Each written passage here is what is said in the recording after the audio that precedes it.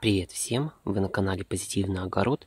Пришли мы убирать лук, который у нас был посажен китайским способом на гребни. Весь он уже у нас столько лег. Сегодня у нас 11 августа.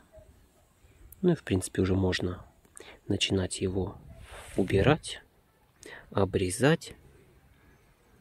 И затем мы его весь положим на крышу, где у нас будет сушиться где-то в течение месяца. Может быть меньше чуть, 20 дней или 25, ну в общем долгое время будет лежать и сохнуть. Ну, вот такой вот лучок. Такие вот луковицы есть. Есть и побольше. Такие вот. В общем, всякий разный лук. Такие луковицы вот наросли. Не совсем плохой. В прошлом году, конечно, был намного крупнее. Но в этом году из-за сухоты, наверное, все-таки он вырос не такой крупный. Вот. Ну, хотя тоже как бы на хранение для зимы очень даже хороший лук. Здесь тоже вот такие прям хорошенькие, крупненькие луковицы. Вот они. Такая вот луковица одна, вторая, в принципе. Дальше тоже вот такие же примерно. Ну, в прошлом году, повторюсь, был намного крупнее. Вот сейчас покажу. В прошлом году был вот как вот эти вот луковицы. Всего вот несколько таких больших вот. Это обычно лук репка вот такой был в прошлом году. В этом году такого очень мало. Такие были здоровенные. Такие вот. Да, точно-точно вот в прошлом году вот такой лук. Крупный. В этом году такого практически нету.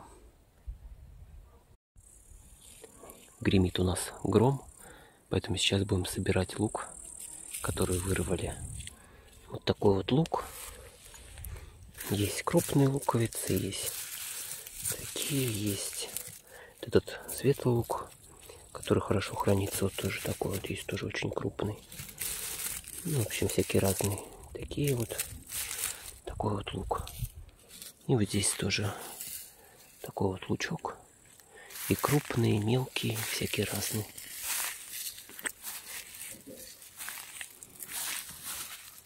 В гнезде было по много луковиц, поэтому он мельче нарос. Такой вот коричневый лук. Ну, в принципе, тоже неплохой. Такие вот такие разные. Ну, все гремит, поэтому сейчас будем его собирать. И отправлять на крышу. Продолжает все у нас греметь вокруг.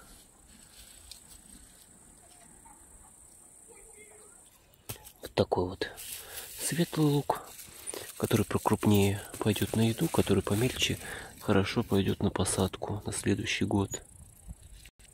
Здесь вот тоже всякие разные В принципе. В общем, для, на еду это очень даже неплохой лук. Ну, какой вот этот на следующий год на посадку, который помельче. Потому что крупный лук, он с него растут э, мелкие луковицы. Надо все-таки садить где-то вот такой вот лучок. В общем, все здесь срезаем и здесь вот так оставляем. Какой-то, может быть, в косы сплетем. Здесь тоже вот лучок, и здесь лучок. Все собираем в мешке, вот лук. И затем будем его на крышу переносить. И там расстелим тоже материал. Ну, будет у нас он сушиться. Вот такой лук здесь. Ну, здесь, в принципе, вот уже, который такие разный лучок.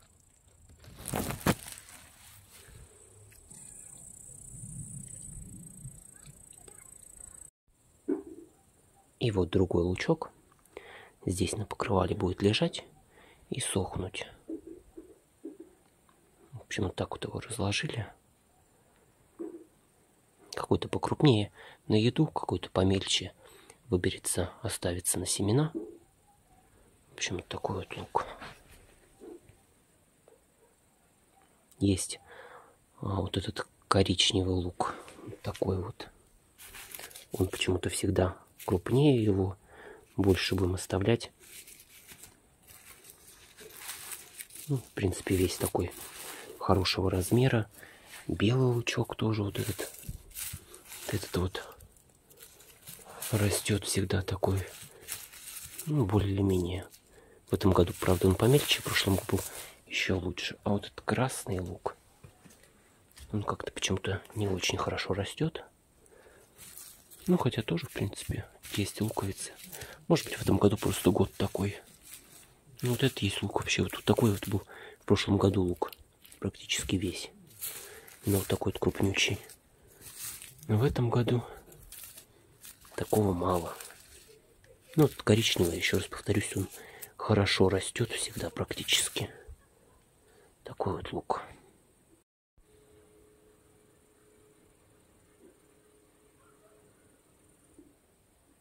Ну а всем тем, кому данное видео было полезным, подписывайтесь на канал, делитесь этим видео с друзьями, заходите почаще в гости и пока-пока. До новых встреч, всем самого-самого наилучшего.